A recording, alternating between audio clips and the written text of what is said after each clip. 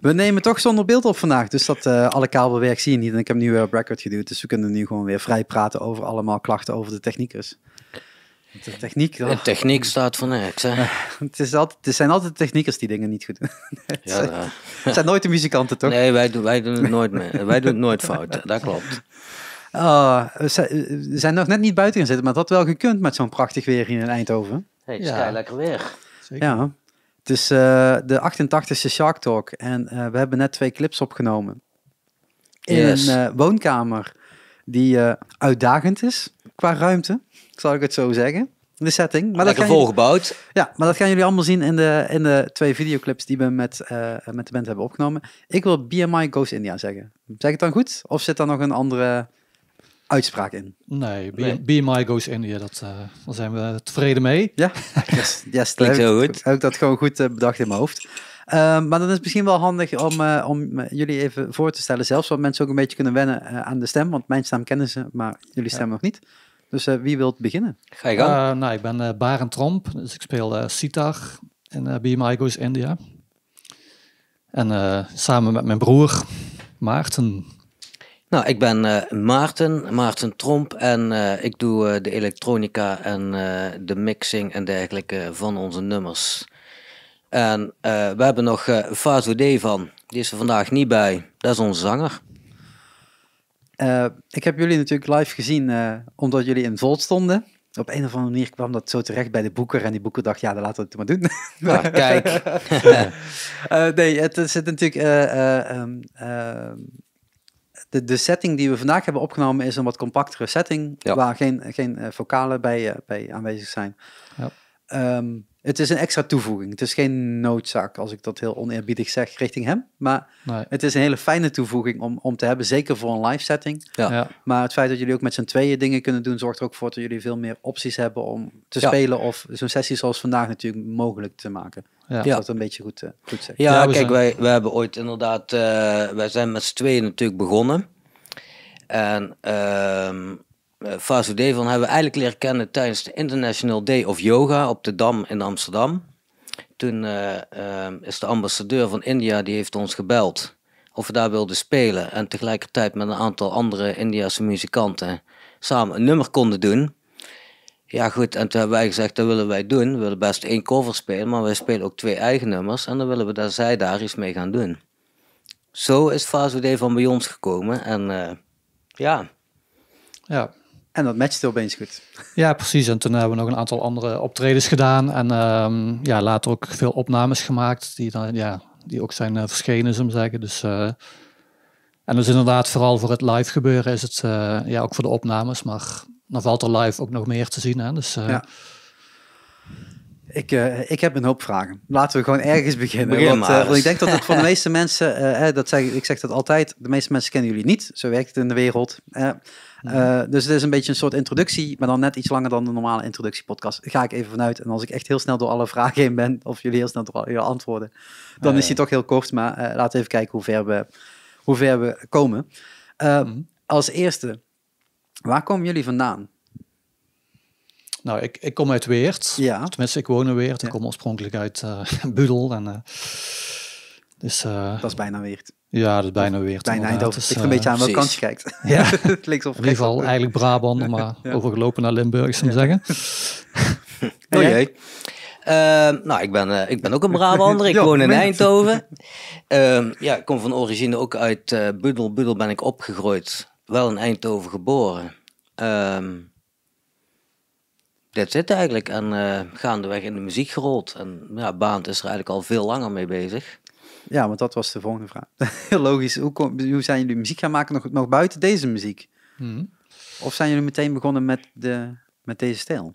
Uh, nee, nee. We hebben al, allebei uh, hele andere achtergronden, zeg maar. Ik ben eigenlijk begonnen als gitarist, zeg maar. Uh, ja, en eigenlijk gewoon helemaal jeugd in allerlei bands gespeeld. En ja, ook meer aan de beetje progressieve rock en de fusion kant. En ja, later ben ik dan ook sitar gaan spelen. En um, ja, dan heb ik ook heel lang les gehad in Amsterdam. En ik ben er een half jaar in India gaan wonen om het nog verder in de sitar te verdiepen. En ja, goed, Maarten die komt meer uit de elektronische hoek. En ja, zo is ze uiteindelijk bij elkaar gekomen, ook qua, qua muziek.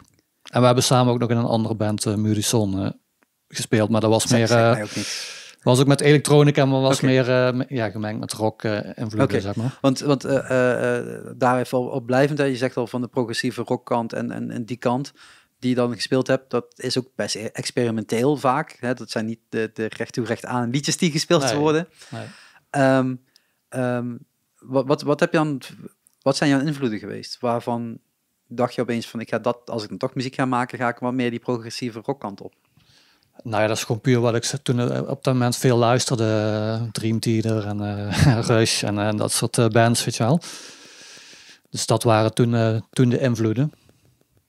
En uh, ja, goed, ik heb altijd naar die muziek geluisterd. veel naar allerlei soorten muziek. Maar ja, eigenlijk de muziek die je speelt is waar je op dat moment veel naar luistert. Zeg maar, waar je dan mee bezig bent qua luisteren. Dus, ja. Nou, en ik, ik, ben wel echt, uh, ik, ik, ben wel echt van de dance. En uh, ik, ik kom ook uit de alternatieve kant, zeg maar. Ik heb ook in een space rock band gespeeld. space rock, ja. ja um, meer op de Porcupine Tree-achtige muziek. Maar um, ik, ik ben begonnen met ooit een keer gitaar te spelen, basgitaar te spelen en te drummen. Maar uiteindelijk uh, een elektronisch apparaatje. Daar, daar werkte toch wel wat... Uh, wat beter voor mij. En uh, ja, goed, ik, mijn, mijn grootste invloed zijn toch wel echt de Chemical Brothers. Dat zijn voor mij wel de meesters van de dance. Dat is wel echt, uh, ook met, oh, wacht, nu ben ik wat zacht, sorry. Ik was even iets aan kloten aan, aan het apparaat hier. Um, Chemical Brothers zijn natuurlijk wel echt, ja, hoe moet je het zeggen, topnotch bovenin draaien die al jaren ja. mee, draaiden, verleden tijd inmiddels, toch? Of? Nou, die nou, hebben onlangs nog een uh, single uitgebracht. Dus die, uh, die gaan nog gewoon door. Die gaan nog gewoon lekker door. Hun wel, ja. Daft Punk natuurlijk niet. Dat ja. was het. Um, nou ja, dat is natuurlijk wel een, een, een invloed die um, soms voor sommigen wat verder weg ligt, zeg maar. Uh, zeker voor de jeugd van nu. Jullie zijn geen jeugd meer, sorry. Maar nee. uh, die, Zo voelen we ons wel, maar... die, die toch wel wat, wat, wat, wat, verder is verdreven naar een ander, andere tijdsperiode natuurlijk. En jullie zijn ermee opgegroeid en hmm. jullie zijn daar door beïnvloed, zoals je net al zegt, hè, door, door deze soort genres. Ja. Maar op een gegeven moment ga je een keuze maken van oké, ik vind het heel tof. Ik ga dus zelf muziek maken. Dat zit dan in de, van de space rock tot de progressieve rock kant, zeg maar. Ja.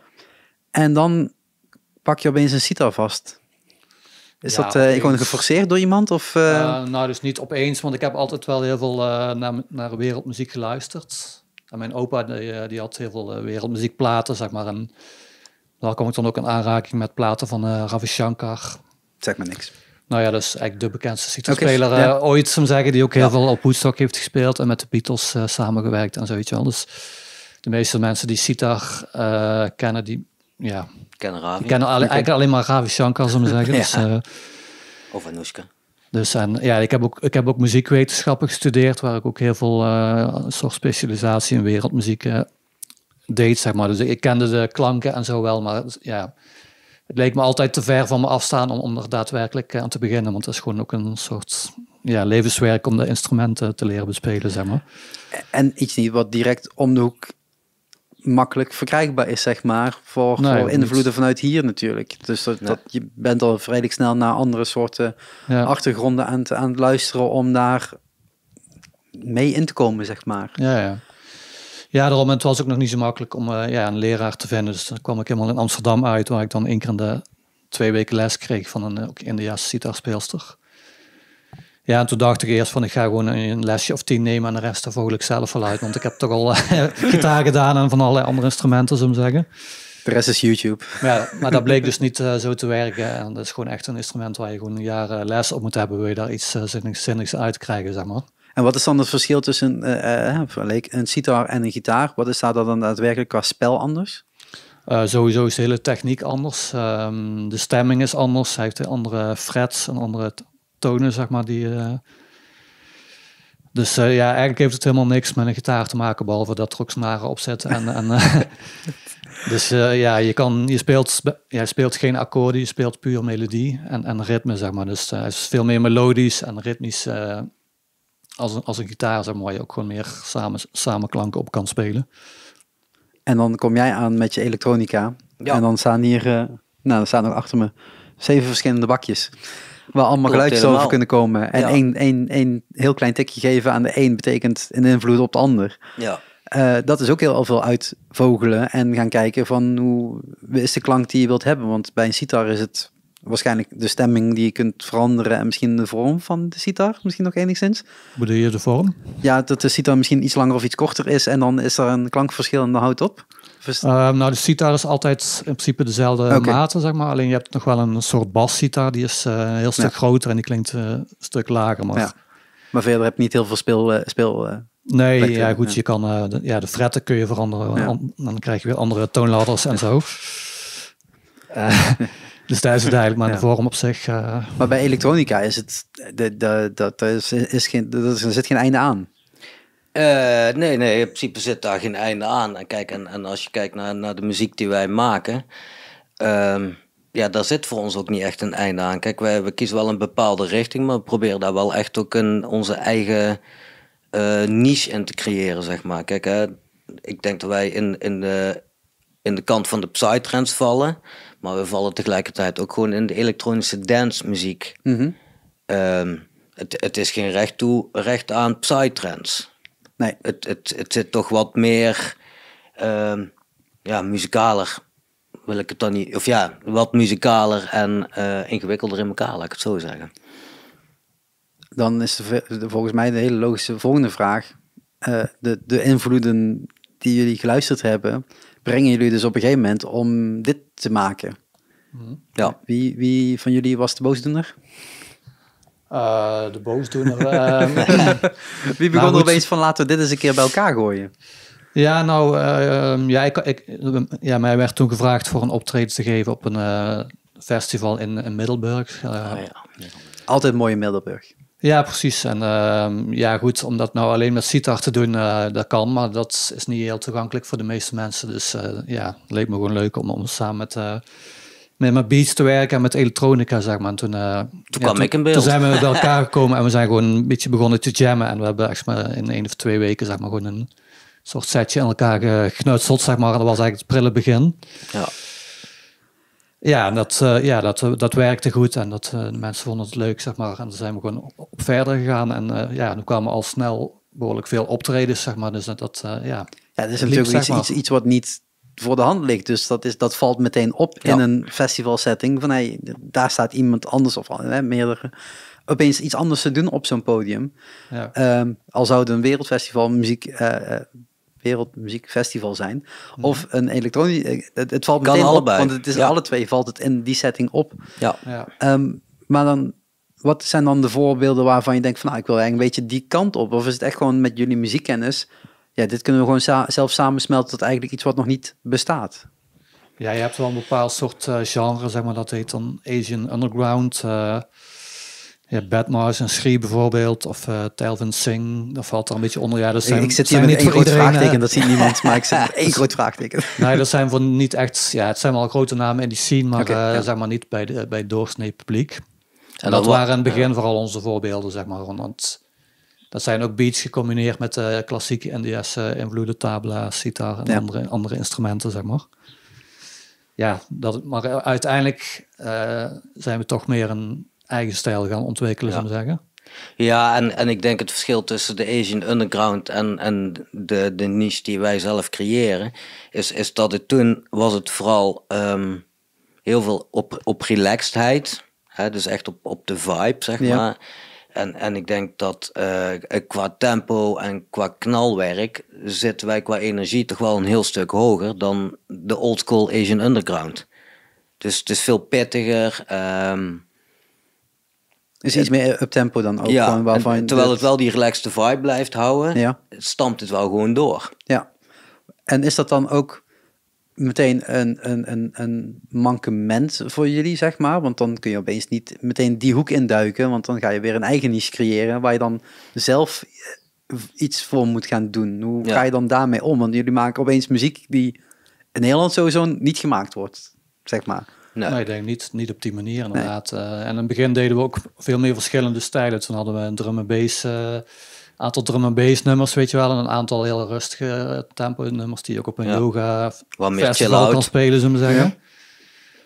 Maar op een gegeven moment kwamen we een beetje ja, aan, aan een aantal van die Psy nummers. En op een gegeven moment kwamen we meer aan die uh, scene terecht, zeg maar. En dan speelden we vaker op dat soort uh, feestjes.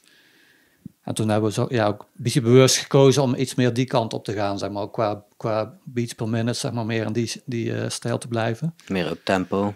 Om toch, zeg maar, anders heb je te veel, anders hoor je dat drum en bass en je hoort dat meer, meer rustige, chill, chill-achtig, zou zeggen. Maar dan, ja, dan werd je op te veel paden als het ware. En uh, ja. kun je ja, beter concentreren op, op één ding. En dan kun je altijd nog de andere doen, maar dan speel je een heel andere set bijvoorbeeld. Maar dat is echt gewoon zo'n, ja, ik wil niet oneerbiedig, zo'n chemisch zootje bij elkaar gaan gooien. En echt zo'n zo'n ding, ingrediënten bij elkaar, kijken welke reactie het geeft. En dan dus eigenlijk gaan uitkristalliseren welke kant jullie op zouden moeten, zeg maar. Dus echt gewoon kijken naar wat is de vraag. Ja, in principe kunnen wij het nu allebei aanbieden op het moment dat mensen vragen van hè, wil je rustig set? Nou, dan spelen wij een rustige set. Um, alleen onze eigen voorkeur, daar merkten wij op een gegeven moment ook wel, is, is toch dat, um, ja, dat meer up tempo, dat mensen kunnen bewegen en, en dat het gewoon lekker doorknalt. En, uh, en dan kunnen mensen nog wegspacen als ze dat willen, want er zitten nog genoeg uh, wazige geluidjes in. Um, Alleen ja, je merkt op een gegeven moment van oké, dit, dit voelt voor ons ook beter, weet je wel. En oké, dat pakt ook beter. En ja, het, het is ook gewoon tof als je ziet dat mensen uh, lekker losgaan en uh, met de handen in de lucht staan. Ja, goed, uh, daar krijg je zelf ook weer wat meer energie van. Want hoe lang zijn jullie al BMI Goes India? dat is een goede vraag. Ik denk een jaar, vier, vijf. Ja, denk ik zeker wel, ja. ja. Maar dan ben jij mij redelijk vroeg gaan mailen volgens mij. Ik heb echt al heel lang uh, geleden al mailtjes gekregen. Ja, ja, ja. ja, ja. Van mij, uh, kun je niet eens een keer... Een keer komen spelen. Een keer spelen, ja. Het was een bevrijdingsfestival wat volgens mij de eerste keer een mail ja, tegen mij kwam. Ja, dat is denk ik drie jaar geleden dat ik ja, jou daarover gemaild heb. Ja. Zou kunnen, ja. Ja, we zijn wel vrij snel toen zijn begonnen ook gelijk veel, veel gaan optreden, zullen we zeggen. Ja. Dus en, en ja... Het kan ook al best wel wat langer zijn dan vijf hoor, maar... Ja. Ik moet eerlijk zeggen dat ik niet meer zo goed weet wanneer we hebben begonnen. Maar dat betekent wel echt gewoon heel hard werken om een, een, een plek te krijgen. Want ik weet wat mijn antwoord is geweest vier jaar lang of drie jaar lang. Dat was nee. Uh, ook gewoon omdat het heel moeilijk is om dit genre mhm. of deze klanken op een, op een festivalplek te zetten. Die eigenlijk heel breed gaat al. Hè? Ja. Ik bedoel, het, het bevrijdingsfestival, specifiek in dit geval, uh, pop-rockkant is wel altijd leading geweest. Daar kwam wat hip-hop bij. Heel af en toe hebben we iets trendsachtigs. Mm Heel, heel vroeger. Maar dat, het festival bestaat ook al uh, meer dan 30 jaar, denk ik. Nee, 23 jaar. Langer, weet ik niet meer. Iets in die trend. Uh, was er nog wel een wereldpodium. Ja, ja. Daar had het heel specifiek op gekund. Maar dat, dat, dat podium is al heel lang weg, zeg maar. Ja. Maar als je dan maar twee eigenlijk echte podia's hebt waar je op bands programmeert, ja, dan, dan vallen jullie er heel vaak buiten kan ik me voorstellen. Terwijl het juist ja. eigenlijk heel toegankelijk is, ja, ja. Hè, als je er wat meer mee bekend raakt. Ja, Dat het heel toegankelijk is, omdat jullie ook zeggen van ja, er zit dit wat in, zit dit wat in. Iedereen kan er eigenlijk wel iets mee. Ja. Ja, nou ja, en, en daarnaarbij, ik, ik ben nog steeds van overtuigd dat wij iets uh, unieks hebben. Mm -hmm. uh, ja, wat gewoon van voor tot achter gewoon goed in elkaar steekt. Ja. En uh, daarin ben ik ook van mening dat je dat in feite overal neer kan zetten en dat dat door iedereen opgepikt kan worden. Ja, maar ik kan me ook voorstellen, de boekerskant, dat dat best moeilijk is om die klik te maken. Dus ik Omdat men het nog niet kent. Ja, ja. maar dan krijg je dus inderdaad het feit dat jullie iets, iets, iets nieuws maken, iets unieks maken, waarbij je dus heel hard moet werken om dus niet alleen het op cd te laten overkomen, maar ook live. Hoe ga je dan over met hè, van de klanken die in jullie hoofd zitten naar, oké, maar nu gaan we dat ook op die manier naar buiten brengen? Hoe is, hoe is die dynamiek tussen jullie daarin? Begin je op de sitar met hè, de riff te schrijven en, en daar komen de beats bij? Of?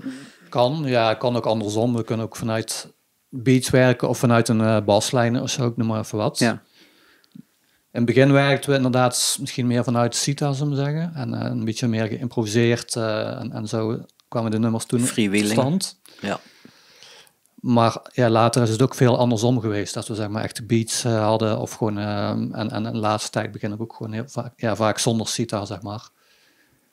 Dat, uh, want als je continu de sitar hoort, zeg maar, zoals in het begin, mm -hmm. kan het ook wel eens te veel worden of zoiets wel. Dus, ja. en dat we nou ook zang erbij hebben, willen we ook die ruimte creëren voor de zang uiteraard. Want hoe moeilijk is het dan, hè, bedoel je, hebt muziekwetenschappen gestudeerd zeg je net, Ja. Hoe, hoe, hoe verhoudt zich dat tot andere uh, muziekstijlen om dat te creëren? Is dat echt een hele andere techniek die je dan er, daarin moet verwerken? Of is het eigenlijk mm. Ook door hoe de nummers uiteindelijk tot stand komen? Ja. ja. In principe, in principe niet. In principe is het hetzelfde qua opbouw, of ja, niet qua opbouw, maar gewoon, ja, je maakt gewoon wat je, wat je dat met, met tof vindt, zou zeggen. En uh, wat voor stijl het is, dat maakt dan eigenlijk niet eens uit.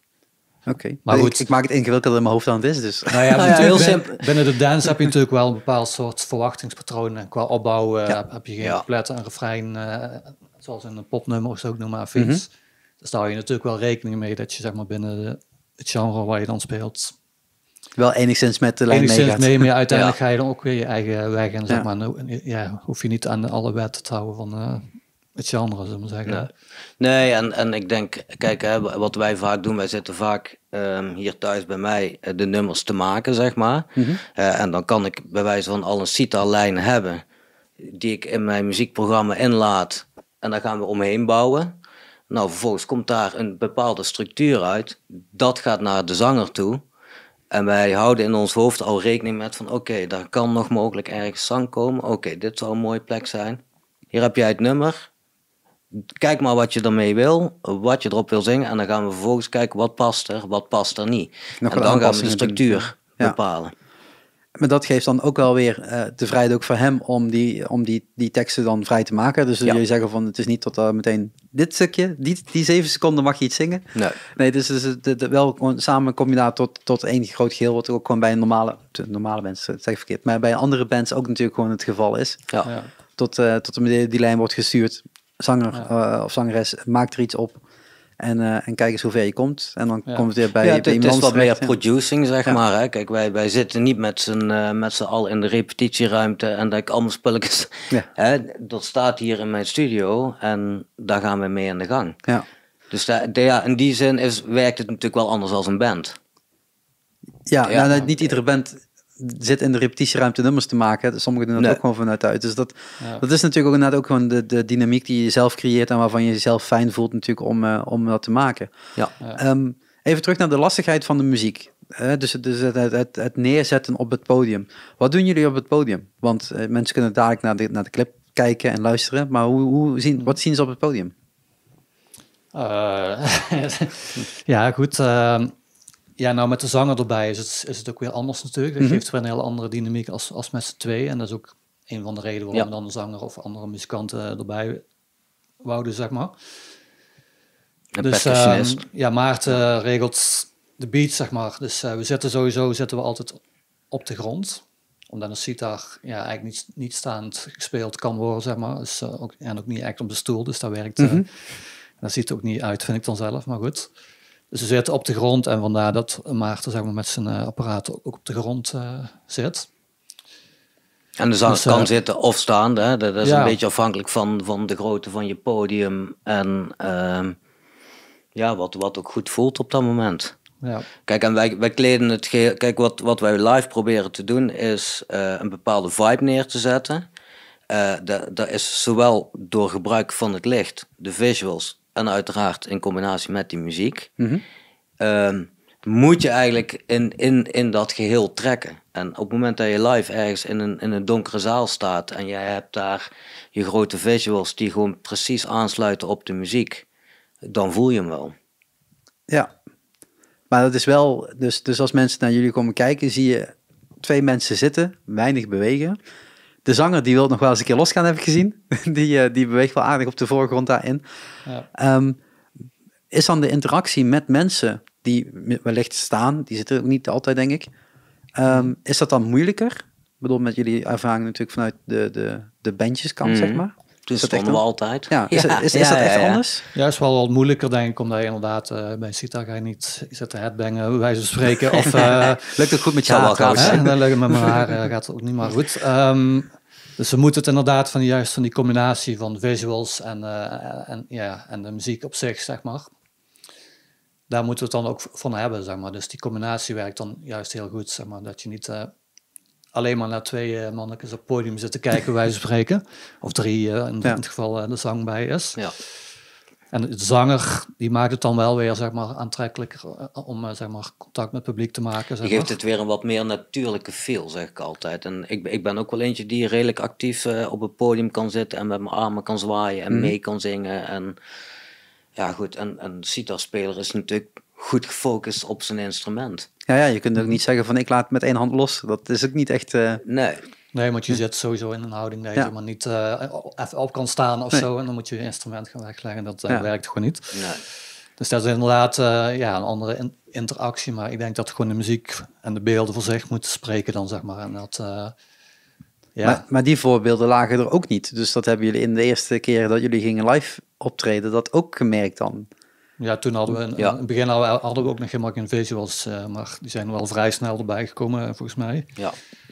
En dat is Maarten zijn, uh, ja, zijn afdeling. Jij maakt ze ook, toch? Ja, ja, ja. ja. Dus jij uh, laat ze in het programma, dus jullie weten ook precies hoe lang een nummer duurt? Of heb je gewoon loopjes die eeuwig door kunnen gaan? Nee, nee, wij hebben wel inderdaad onze nummers die, die kunnen wij verlengen. Dus ik kan, hè, ik kan bepaalde stukken langer laten duren.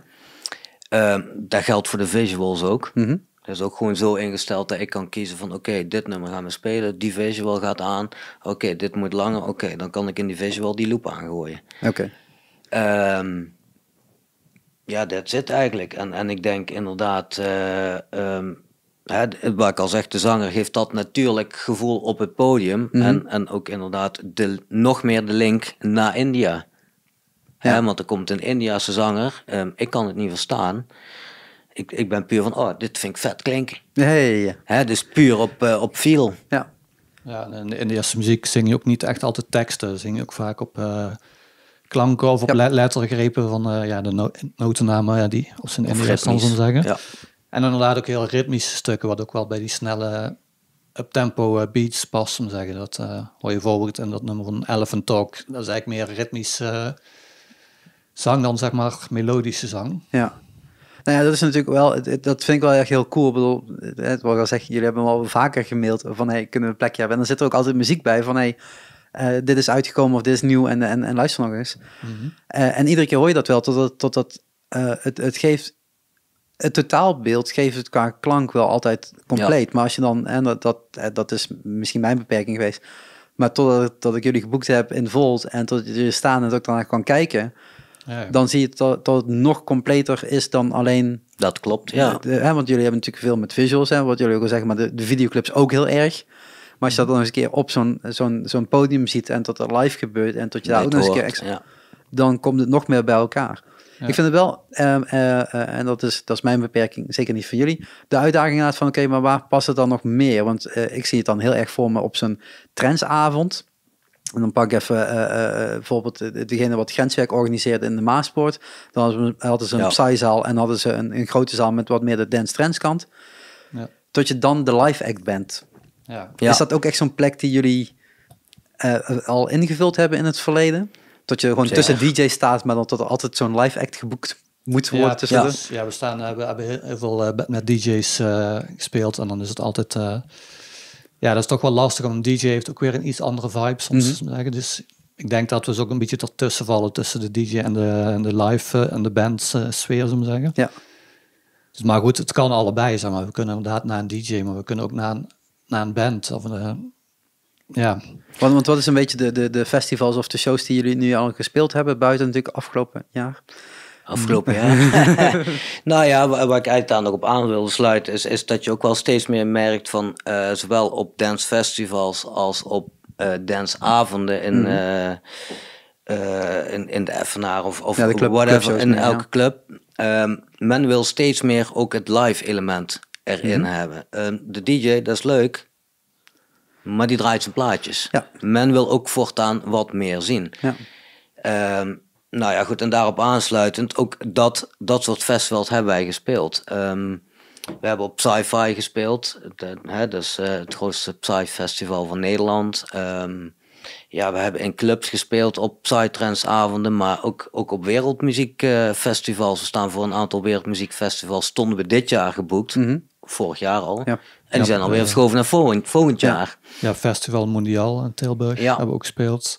Solar. Heel logische plek ook natuurlijk. Ja. Solar is, ja. ja, ja met een aantal uh, buitenlandse dingen. In, in, Zwitserland heb je ook een, uh, een ja, Psy Festival. Ja, echt, echt, boven in de bergen, om te zeggen. Midden in de, in de, volgens mij is de Alp. Weet ik niet de Alpen. In de berg. Iets ja, sneeuw. Boven, uh, waar, je, waar je de sneeuw ziet, om te zeggen. Ja. En, in Duitsland hebben we op... Um, Experience. Experience, dat is ook een groot yoga festival met, met een live grote live tent erbij, zeg maar, waar dan s'avonds uh, mensen los kunnen gaan. Daar speelden wij de laatste keer op een, uh, op een poolparty. Ja. Dus was aan het eind van de dag stond er een podium in, bij het zwembad. Iedereen in het zwembad en iedereen ging los in het zwembad. Ah, was te gek. Ja. Was misschien niet ideaal voor mijn apparatuur en voor de sitar, maar het was wel te gek om te doen. Dat was wel apart, ja. Gewoon, dat was gaaf. Ja. Ik, uh, ik mis in dit rijtje nog wel India ergens. Ja, ja. die, die stond inderdaad vorig jaar, eigenlijk, of eigenlijk voor deze februari, stond dat op de planning. Waar, waar, waar er al gesprekken over en waren er een vijf, zes optredens eigenlijk al geregeld. Um, maar ja. We zullen zien wanneer dat Ja, je, kunt er, uh, je gaat er nu natuurlijk niet naartoe. Maar, maar hoe, leg je, hoe leg je die link? Is dat dan iemand vanuit Nederlandse, uh, uh, met, met Indiaanse achtergrond die dan zegt, nou, ik heb hier een band gezien. Nee, die moet dit, ik die dit, kant op. Dit was echt uh, puur een, uh, een man uit India met een hotel die daar festivals ging organiseren. Die had een livestream op Facebook gezien. En die had zoiets van, van dat vind ik te gek. Ik wilde jullie komen. ja. Kom maar over. Ja. Dat, ja, dat is natuurlijk wel weer het voordeel van, van het internet natuurlijk nu. Dat je niet alleen maar binnen je eigen landgrenzen uh, hoeft te blijven. Maar dat je met die livestreams ook veel breder kan gaan. Ja. En dat dat di directer in zo'n wereld ook terechtkomt dan. Ja. ja, ja. want we hebben uh, bijvoorbeeld uh, eh, 1 juli doen we weer een nieuwe livestream. Dat is voor een festival in India. Dus de mensen daar beginnen ons ook al te kennen en beginnen mij ook al te benaderen en willen alles van mij delen. En goed, en ik, weet, ik ken de mensen verder niet, maar goed, ik weet wel dat daar de mogelijkheden liggen om de contacten te gaan leggen. Maar jij was een half jaar in India geweest. Heb je niet, uh, niet een eh. adresboekje daar aangelegd? Um, ja, ja, toen bestonden wij nog ah, niet. dus ik heb daar puur, nee. uh, ben daarheen geweest om, om verder te verdiepen in de CITA, zeg maar. En echt een half jaar iedere dag daar les gehad. Dus, uh, dat was wel intensief. toen was ik eigenlijk niet met, uh, met, met fusion-achtige dingen bezig of dance. Ja, wel met andere projecten, maar niet met CITA, zo mm -hmm. Dus dat is al ja, een tijdje geleden. Hè. Maar dat, maar dat is dan eh, de, de ik, bedoel, wat ik net al aanhaalde, jullie mailen best veel naar, naar uh, locaties toe, naar boekers toe van hey. Ik ben wel een volhouder, laat ik het daarop houden. Ja, maar dat is ook alleen maar goed. Op een gegeven moment, op een gegeven moment lukt het. Ja, ja, ja precies, dat zie je. maar, maar het is meer gewoon van, van dat, dat is natuurlijk positief, maar dan opeens naar een ander land toe mailen. En zeker naar een India mailen, waar gewoon echt heel veel mensen zijn, wonen, leven, maar ook muziek maken. Mhm. Om daar opeens binnen te komen is een heel ander verhaal, zeg maar. Kijk dat naar België of naar Duitsland, dat is nog eens logisch, hè, want die komen ook een keer hier en die zien dat en denken, ah, wil ik ook hebben. En dan, ja. Maar dat gebeurt eigenlijk hetzelfde dus vanuit daar, maar dan met, vanuit de livestream of hey, ik heb dit gezien op, uh, op het internet. Ja. Ja, plus dat je natuurlijk niet weet, uh, kijk, want zo iemand kan wel zeggen, ik heb er vijf mm. geregeld. En dan kom je in India aan en dan is het toch maar even de vraag als je bij, uh, voor de deur staat of er daadwerkelijk ook iets te doen is die avond. En dat is een beetje, uh, ja, ik vind dat juist heel, heel gaaf. Want ik bedoel, ik vind India een te gek land en uh, die chaos heerlijk. Mm -hmm. um, ja, ik zou die stap gewoon nemen. Ik stap al in het vliegtuig en ik neem mijn spullen mee en ik, ik regel daar wel een optreden. Ja. Ik heb jou, uh, ik ben de volhouder naar jou toe, maar dan ben ik daar ook naartoe. Ja, zeker, zeker. Maar dat is ook alleen maar goed. En dat, dat, dat, dat, dat, dat uh, siert jullie ook gewoon echt. Want dat op die manier in de markt zetten. Het is een, wat ik al zeg, een moeilijk genre om dat al, binnen te komen. Ja, dan is het alleen volhouden. Is dan de enige methode om het natuurlijk uh, daarop door te breken. Wat dus wel bezig is. Hè. Bedoel, laten we daar wel gewoon eerlijk in zijn. Het is niet zo dat jullie nog steeds alleen maar hier binnen de, de woonkamer dingen aan doen zijn. Het, het, is al veel breder dan dat. En tot dat nog niet bij iedereen bekend is, nou dat komt wel. Dat stukje bij beetje. Nou ja, maar dat is ook wel onze overtuiging. Kijk, eh, als je. Ehm, en, en misschien klinkt dat heel cocky, maar ik, ja goed, ik ben van mening, als je iets goeds in handen hebt, dan komt dat wel. Ja, want wat is, wat, wat, uh, wat is jullie droom dan? Wat, wat zou je liefst nu willen met BMI Goes India, behalve dat het in de naam zit? Uh, nou ja, goed. Gewoon op zoveel mogelijk uh, een grotere festival spelen, zeg maar. Dat is, maar hebben, maar hebben jullie namen gewoon waarvan jullie zeggen van nou, dat dat zou... Ja, ja ik noem maar even Lowlands of uh, Down the Rabbit Hole vind ik ons gewoon keer op een ander podium. En uh, ja, er zijn zoveel leuke festivals. Maar dat is allemaal hey, Nederlands. Op, op, uh, op, ja, ja, goed. Ja. En uh, dinges, zeg eens even, um, Burning Man wil ik sowieso wel ooit een keer gespeeld hebben. Uh, Portugal heb je nog Portugal, ik kan even niet op de naam komen. Iets in Kom Portugal. ik zo wel op. Ja, dat is ook een soort Dus één keer in de festival. twee jaar is daar inderdaad een, ja, een beetje vergelijkbaar met Burning Man. Ook in, uh, midden in de woestijn, uh, zandvlaktes. Okay. En uh, daar lijkt me te gek. Ik vind ook dat we daar gewoon thuis horen. En daar heb ik ze ook al een aantal keer gemaild. Dus die komen ook wel Mhm. een keer. ja, ja, dat, Ja. dat meen ik serieus. Die, uh, nou ja, sowieso Boom, vind Boom ik... heet dat volgens mij. Hè? Boom. Boom, Boom Festival. Ja. Ja. daar horen wij gewoon thuis. Het luistert Ehm, allemaal deze podcast, hè, dus dat is straks ja, ja, allemaal precies. geregeld. Dus dat is, eh, jongens, Ja, hè? en ik denk dat er heel veel mensen uit Portugal nu zitten te luisteren. Dus Boom ja, Festival. Ehm, nou ja, ik, ik, en, en ik ben ook nog steeds van mening, volgens mij is er op eh, Lowlands nog steeds een India tent. Ja, die heet Ik- India, maar of Ja, ja. daadwerkelijk India. Daar staat, staat ook gewoon dance, daar horen wij gewoon thuis, klaar. Maar is het, eh, hoe, lang, hoe lang is dan de set die, eh, die jullie spelen live? Die kan heel lang zijn. Die kan echt eh, anderhalf uur. eh, maar meest- meestal spelen we, ja, bij die streams en zo spelen we meestal een Een uur, uur, of zo. Ja. Dus een uur zo Festivals zitten. drie kwartier of... eh, ja, Nou ja, dit- is natuurlijk wel inderdaad. Kijk, je moet ergens beginnen. Hè, wat, jullie, wat je net ook al zei, van, hè, het moet, niet allemaal liever nog een ander podium. ja, ja. Ga ik vanuit een groter podium, ik zo. Uiteraard. ja, ja, nee. Ehm, eh, nee, er zijn natuurlijk in Nederland prachtige festivals. En ik hoop dat ze ook allemaal eh, eh, volgend jaar, sommige dit jaar, eh, terugkomen. ja. Dat zou natuurlijk wel een, mooie stap zijn om daar ja, weer, weer een beginnetje in te kunnen maken. Ja. Zodat ook dat festivalleven weer eh, eh, een beetje op gang komt waar jullie dan in terecht kunnen. Ja. Eh, en, en qua clubs, want dat, dat lijkt me nog een stuk lastiger dan. Want die hebben, nou, in principe niet. Als je een danceavond hebt, kun je ons neerzetten. dat is heel makkelijk. Hoeveel danceavonden zijn er nog? Eh, Eh, genoeg, denk ik. Maar die zijn misschien niet allemaal meer in de grote zaal. Maar de, die zijn wel nog allemaal eh, in, in de clubs te vinden. En ik denk als dadelijk de boel weer wat meer open gaat, dan gaan mensen daar toch wel weer heel veel behoefte aan hebben om lekker te kunnen dansen en te kunnen bewegen en noem maar op. Ja, ik, ik, krijg af en toe van die posts voorbij dat de mensen zeggen, ja, we mogen niet meer dansen. Hoezo niet? Je kunt toch gewoon thuis je woonkamer kunt toch dansen? Dat Hey, kan toch? doe maar. Ik bedoel, Ja, Ja. maar niemand die kun je ook dansen. Ja, daarom. Ja. Ik bedoel, dat, dat, dat verbieden vind ik een beetje een groot woord. Ik bedoel, het, het, het minder mogelijk maken ben ik mee eens. Ik Ja. bedoel, Dat, hè, dat, dat, daar zijn we volgens mij allemaal over eens. Maar het, wat verboden is, nee. Ehm, Ja, en ik vind Paradiso in die zin ook wel een van de gaafste zalen dat van Nederland. En ik denk dat die vibe met die kerk op de achtergrond er Maar ideaal die, bij zijn, past. die, die hebben natuurlijk gewoon echt hele goede dansavonden ook. Die hebben ook gewoon een, een goede nachtprogrammering. Dat heb je gewoon Ja. niet bij heel veel clubs.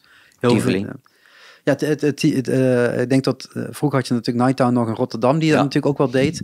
Ja. Eh, heel af en toe in de 013, maar dat, dat heb ik ook al lang niet meer een goede nacht voorbij zien komen. nee, zeg dat maar. zijn ook allemaal in de kleinere zalen. En, Ja, even naar, eh, ik weet niet of die, die hadden vroeger heel veel drum en bass feest natuurlijk, Ja. maar ik weet niet of die, of dat nog doorgegaan is, die scene, zullen we zeggen, of die dance. Ja, er is wel doorgegaan. Alleen dat is allemaal wat meer naar de kleinere Ja. zalen gegaan. Omdat er natuurlijk op dit moment gewoon... eh, of op dit moment misschien niet, maar... Er is natuurlijk een tijd geweest dat er zoveel dancefestivals waren. Dat, Mhm. dat er elk weekend wel vier, vijf festivals waren. Ja goed, op een gegeven moment moet je daarin als, als persoon ook een keus gaan maken natuurlijk. Van eh, ja, je kunt niet naar alle vijf tegelijk. Nee, en je merkt ook gewoon tot, en, en dat is dan weer de, de, de, de, de die ik dan een beetje voor, me, voor, voor ogen heb. Ja, die zijn vaak gewoon toch heel erg bandgericht. En die stoppen om eh 11 uur of 12 uur. Terwijl de wat grotere clubs zoals de Paradiso en de, en de, de Tivoli, ja, die doen daarna een half uurtje ombouw. En dan gaan ze door met tot diep in de nacht natuurlijk. En dan heb je opeens veel meer podiumkansen. Ja. En zeker voor zo'n en zo'n zo'n combinatieband die jullie eigenlijk zijn. Van, je kunt eigenlijk of voor 12 uur spelen, maar je kunt ook prima na 12 uur spelen. Ja. Ja, als je dan een beetje je kansen verdubbelt, dat is natuurlijk wel heel fijn dat je daar dan eh, eh, wat meer ruimte in krijgt. En, en voor het buitenland, voor, voor Duitsland, hoe lang zij eh, do- doorgaan en hoe hun clubnachten eruit zien, dat ziet er heel anders uit dan Nederland. Dat En kennen we helemaal niet. zien ook best groot. Ja, dus dat, en, dan, en ja, Duitsland is natuurlijk ook gewoon qua, qua eh, muziekmarkt, is ja. dat, is dat veel interessanter dan Nederland natuurlijk. Ja. Als je daar een, een toertje doet, dan, dan ben je ook wel echt even bezig. En hier heb je meestal in vijf keer heb je het grootste gedeelte van het land wel gehad. Uh. Ja, maar goed, dat, dat, geldt ook als je kijkt naar, naar de muziek die men hier op de radio draait, of bijvoorbeeld in België. Ja. Kijk, ik denk dat wij op Studio Brussel zouden wij prima passen. Op 3FM ja. wordt toch alweer iets lastiger. Ja, nou ja, dat, het, het, het, het, 3FM en, en uh, Studio Brussel verhaal ga ik niet nog een keer op helemaal in. Maar, uh, doen we een volgende podcast. We doen een volgende podcast, nee. Maar de, Studio Brussel volgt 3FM, dus je weet ook dat de, de dalende lijn die 3FM heeft te pakken, dat daar gewoon Studio Brussel ook aan het induiken is. Dus die volgen elkaar uh, dadelijk heel mooi op uh, elkaar op en dan blijft er helemaal niet veel van over, wat gewoon heel spijtig is. Maar jammer is, ja. maar dat zijn ook de muziekkeuzes die ze maken. Het feit dat ze wat bijzondere acts al niet meer draaien, want ja, dan heb je, dan heb je de luisteraar niet in één keer mee. Terwijl ja, je kunt ze ook opvoeden, denk je dan.